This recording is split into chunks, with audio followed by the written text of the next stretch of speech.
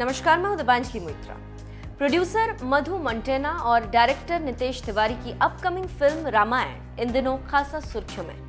इस most awaited film को मधु मंटेना बड़े स्तर पर बनाने की तैयारी में। फ़िल्म में भगवान राम के किरदार के लिए महेश बाबू और रावण के रोल के लिए ऋतिक रोशन का नाम सामने आ रहा है। वही फ़िल्म में माता सीता के रोल के लिए अभी तक दीपिका पादुकोण का नाम सामने आ रहा था।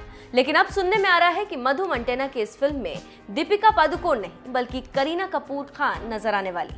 इतना ही नहीं, सुनने में आया है कि इस फ़िल्म के लिए करीना कपूर खान को 12 करोड़ रुपए दिए जा रहे हैं। रिपोर्ट्स में दावा किया जा रहा है कि मधु मंटेना ने दीपिका को हटाकर रामायण में करीना कपूर खान को माँ सीता के किरदार के लिए फाइनल किया।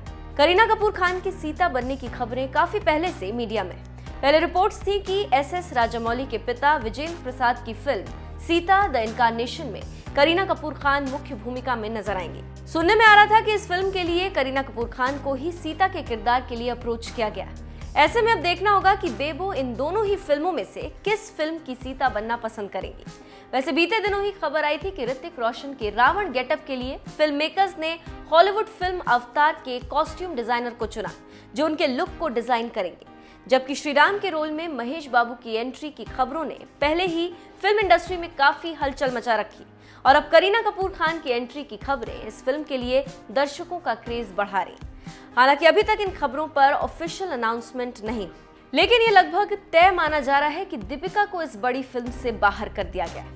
बताते चलें कि फ़िलहाल रामायण पर एक और फ़िल्म बन रही है, जिसे ओम राउत बना रहे इस फ़िल्म में प्रभास, श्रीराम, कृति सैनन, माता सीता और सैफ लंकेश के किरदार में नज़र आएँगे।